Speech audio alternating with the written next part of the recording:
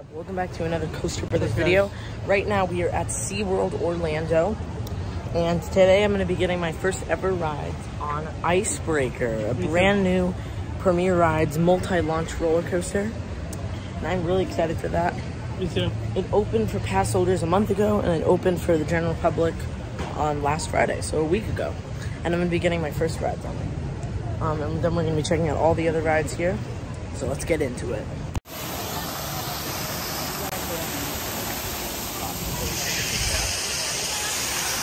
Guys, so we are about to get on Manta. It is a B&M flying coaster. And this is going to be my second flying coaster now. Yeah, it's crazy. My second one. And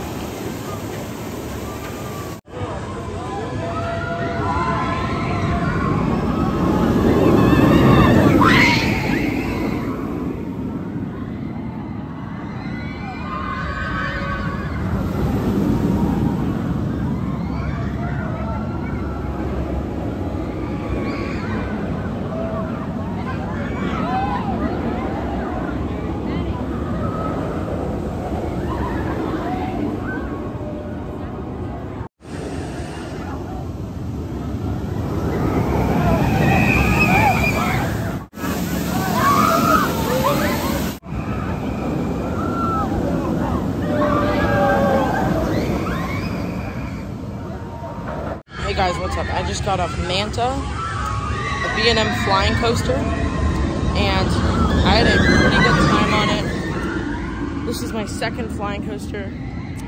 Um, the only other one I went on was Superman Ultimate Flight at Six Flags Great Adventure.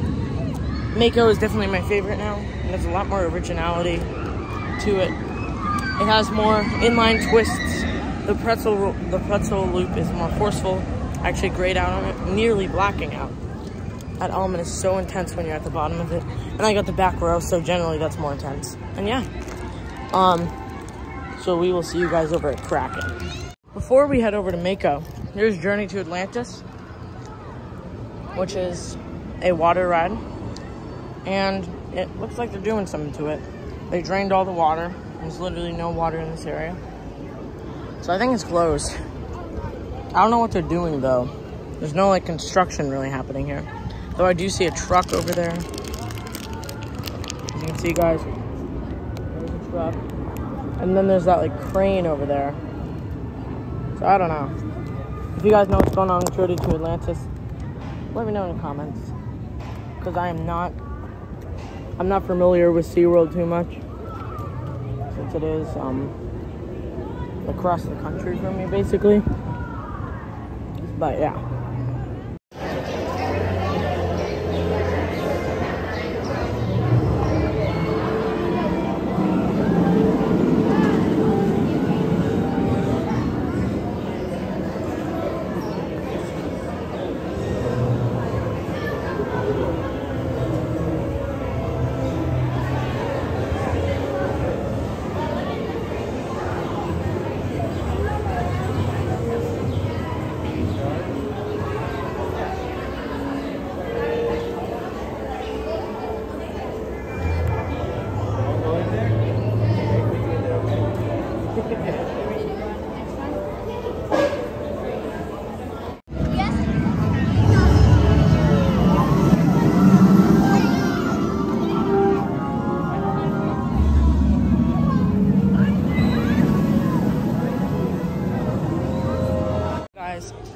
Me and Matthew, Matthew, we just got off Mako, which is a B&M hypercoaster.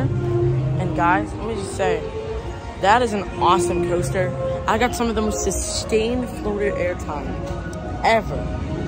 One time, like three whole seconds, guys. So, I think this may be my new favorite hypercoaster, though I think it still is Diamondback. I don't know though. This is definitely a solid coaster, guys. And that was my 100th coaster credit. So, yeah. So we're gonna have lunch and then we're gonna um, go on again and I'll be showing you guys a POV. I repeat, please stand behind the yellow line.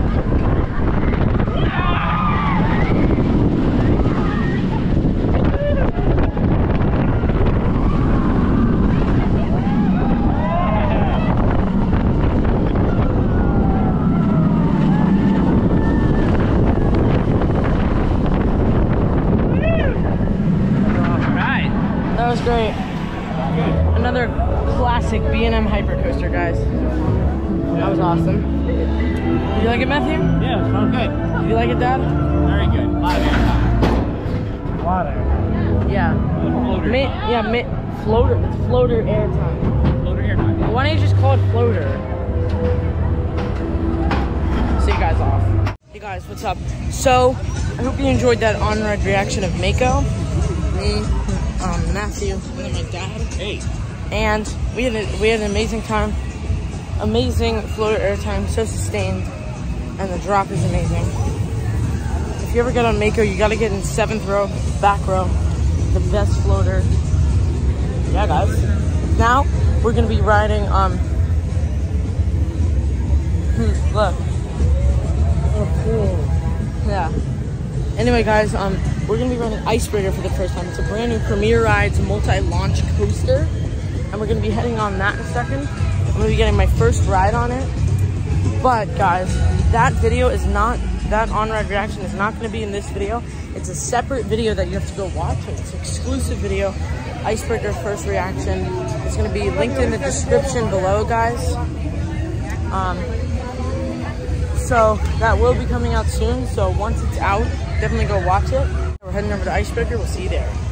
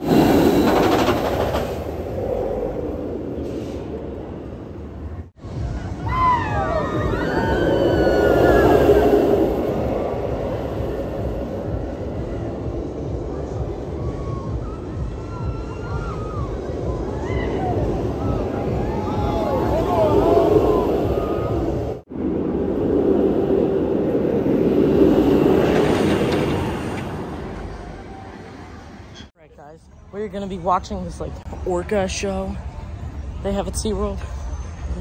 Hope you enjoy some footage of it.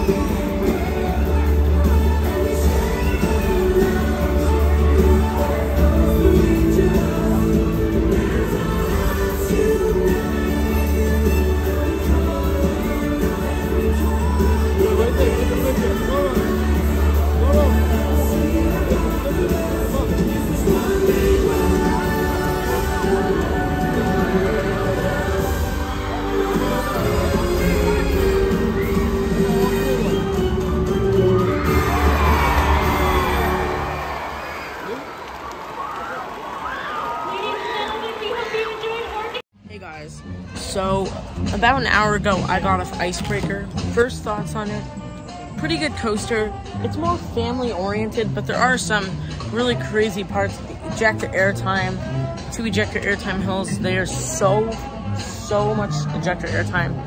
But there are some downsides to it. One, the launches are not very forceful. And if you're in the front row, you're not going to feel that beyond vertical spike. And the comfort collars are kind of unnecessary. But overall, it is a pretty good coaster. It definitely is perfect for SeaWorld Orlando. They definitely, they, they needed a roller coaster like this. And now, now they have it, guys. So.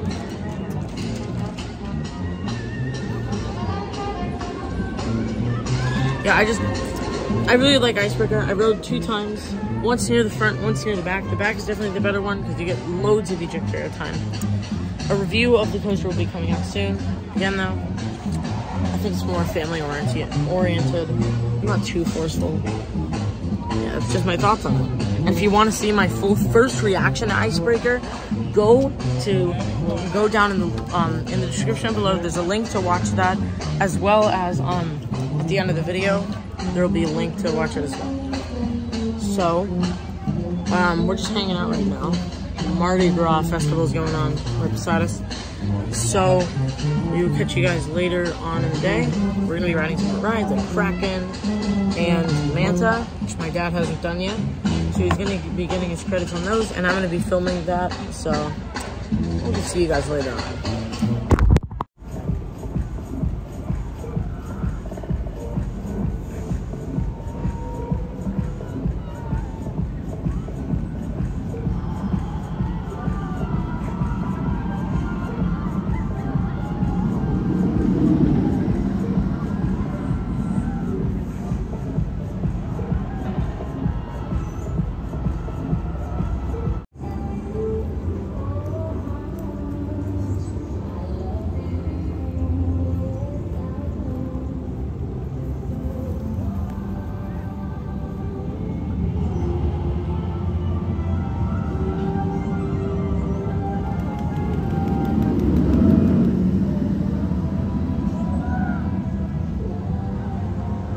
Guys, what's up? Here's the coaster dad. Hey. And here is Matthew. And we are about to go on Kraken. I already went on Kraken late earlier with Matthew. This is gonna be my dad's first time on it. And we're gonna be filming on it. So we will see you guys on Kraken. Alright guys, we're heading on Kraken. Here we go.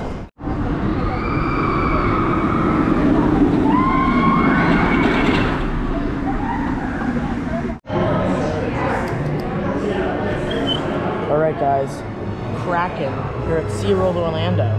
Night ride. So sorry if you guys don't see much. It is a night ride. Okay.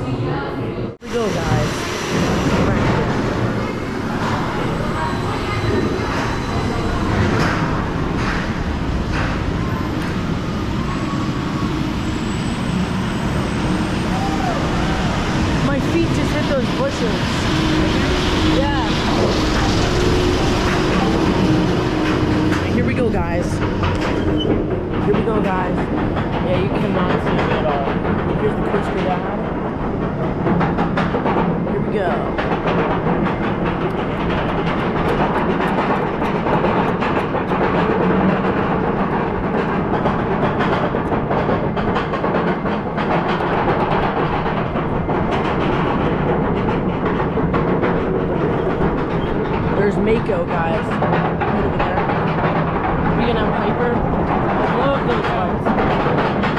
Here we go, guys. Exact time.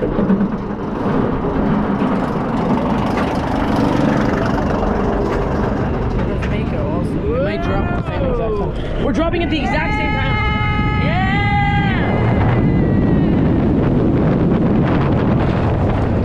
Yeah!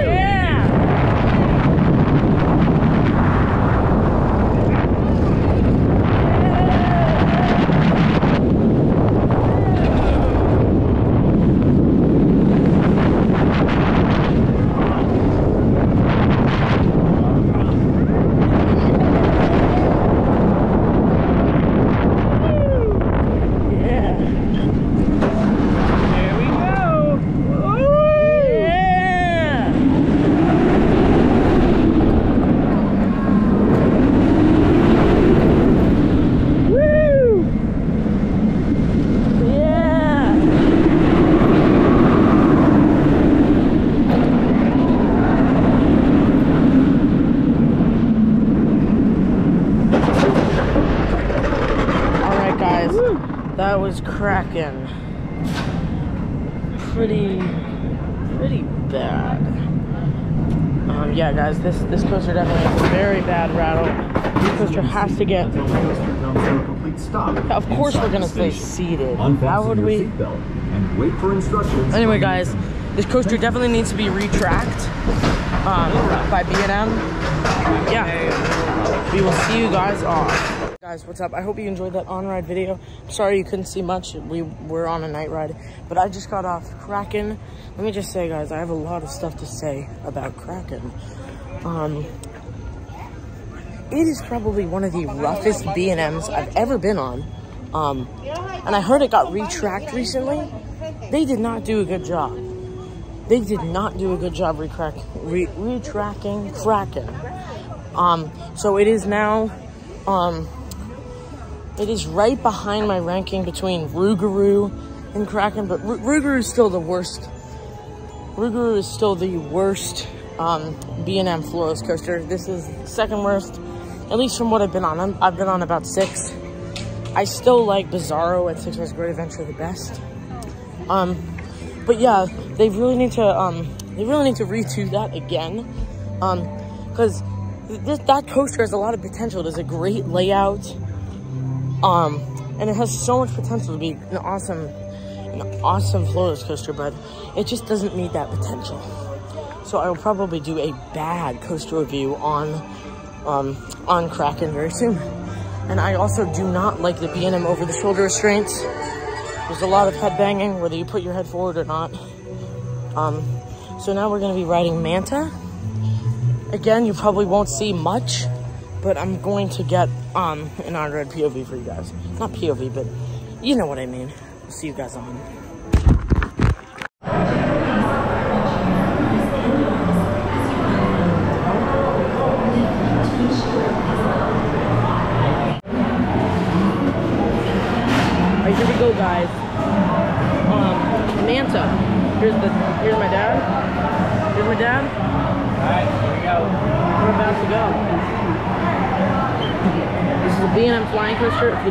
And it is now my favorite. So,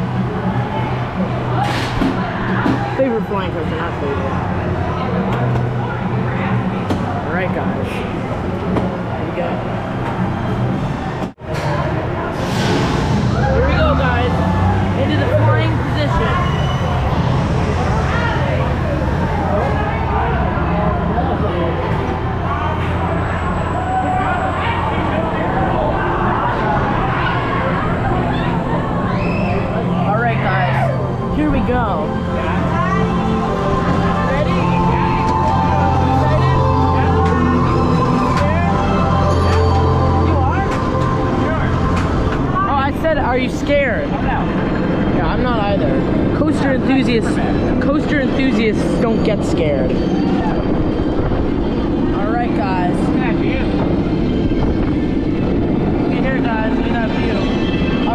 About to go.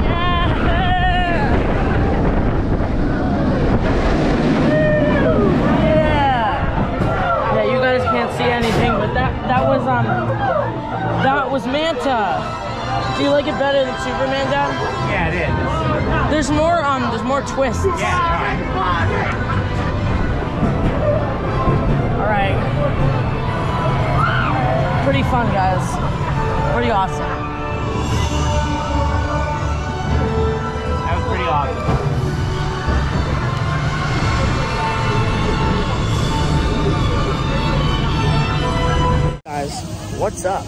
Um, so, me and Matthew just caught a Manta for three times, guys. Guys, I love this flying coaster. It's awesome. That pretzel loop, I grayed out all three of those times.